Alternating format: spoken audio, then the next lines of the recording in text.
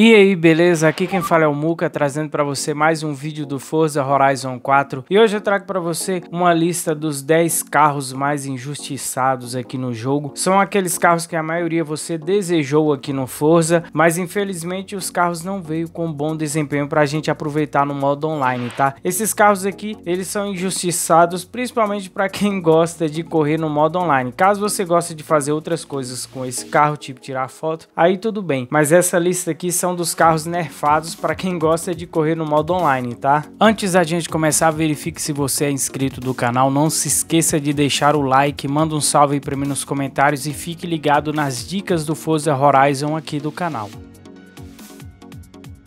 Começando com o Nissan GT-R PO, esse carro aqui era bastante raro, não tinha como comprar nem na loja nem no leilão.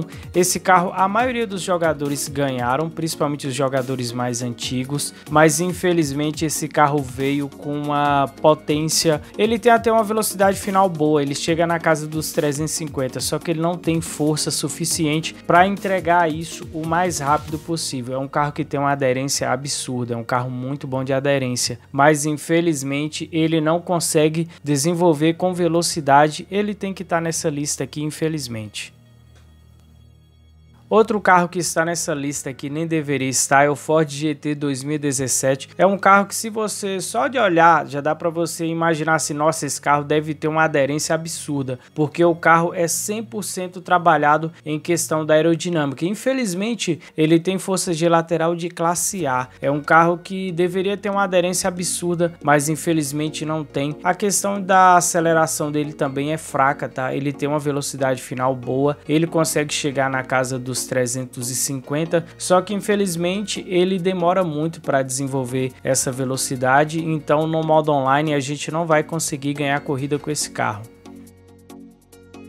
Lamborghini Centenário. Quem jogou Forza Horizon 3 e pegou esse carro aqui no Forza Horizon 4, cara, pura decepção. Esse carro aqui, infelizmente, ele está nerfado. No Forza Horizon 3 é um carro violento. Aqui é um carro, a gente pode dizer que é um carro ok, mas infelizmente esse carro aqui toma 5 segundos do Apollo. É muita, muita coisa, tá? Então esse carro tem que estar nessa lista aqui. Infelizmente é um carro muito bom, mas não tem aderência e nem velocidade para gente considerar um carro top. Porsche Cayman GTS 2018. Esse carro aqui é outro carro injustiçado, tá? Esse carro deveria ser bom, no mínimo na neve, porque a gente tem um Porsche Cayman 2015 que é apelão na neve, parece que você tá andando no seco, tem uma aderência muito boa. Felizmente esse carro aqui tem muita opção de customização, mas infelizmente o carro não desenvolveu suficiente para a gente dizer que é um bom carro, um carro que a gente deve colocar como favorito. Infelizmente esse carro aqui não. McLaren 600 LT. Esse carro aqui é um carro que é bastante injustiçado, porque a gente tem a 570, né, que é a versão desse carro aqui, só que a versão um pouco mais fraca. Esse carro aqui, a 600 LT, é uma versão melhorada, né, da 570, mas infelizmente aqui no Forza Horizon essa teoria não funcionou. O carro veio pior do que uma 12C. Infelizmente, a gente vai ter que colocar esse carro nessa lista, né, com muita tristeza. Esse carro aqui, o protótipo da Volks, que é um carro que ninguém esperava aqui no jogo, é um, é um protótipo, né? Acho que é o único protótipo que a gente tem aqui.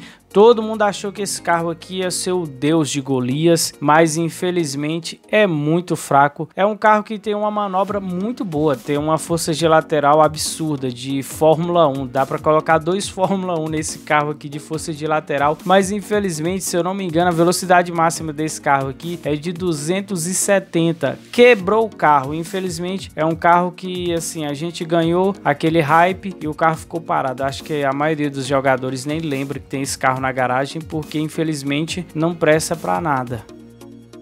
McLaren 720 Spider. Esse carro aqui deveria ter um desempenho da Lamborghini Aventador. A gente tem duas versões aqui que são ótimas, principalmente na neve e na chuva. Eu achava que esse carro ia ser bom também, principalmente se a gente colocasse ali um pneu de rally. Mas infelizmente esse carro não tem força G lateral. É um carro que veio totalmente nerfado, principalmente nessa questão de aderência. Um carro que não tem aderência nenhuma, não tem nada a ver, porque a McLaren trabalha muito bem essa questão de aerodinâmica do carro. Infelizmente esse carro aqui também veio nerfado.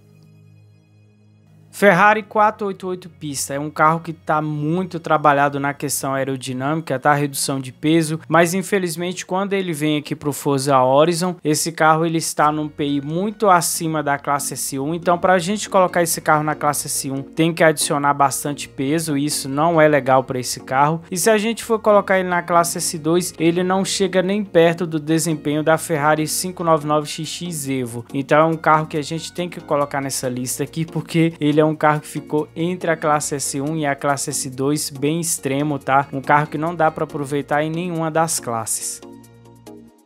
Esse carro aqui é o A110, um carro muito bom de aderência. Eu nem esperava esse carro aqui porque esse carro é do Gran Turismo, tá? Esse carro é popular lá no Gran Turismo. Esse carro veio pra gente com opções de motorização que não são boas, tá? É, se eu não me engano, só tem opção de motor rally nesse carro e os motores rallies aqui são muito fracos. A gente precisava colocar o motor V8 nesse carro para ele ter um excelente desempenho, porque questão de aderência ele é muito bom, mas infelizmente ele não tem aceleração, principalmente em alta, então esse carro tem que entrar nessa lista, infelizmente.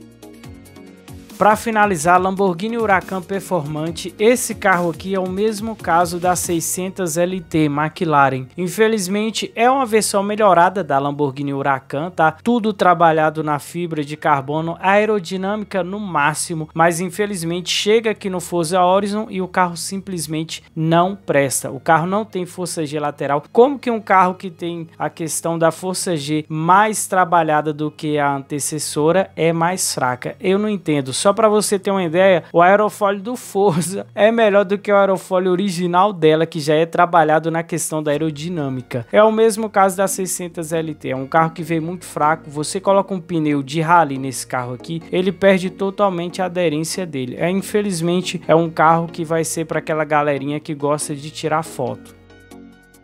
Se você acha que tem algum carro aí que você gostaria de deixar nessa lista, deixa aí nos comentários, tá? Se você curtiu esse tipo de conteúdo, deixa aquele like, manda um salve aí para mim nos comentários e até o próximo vídeo.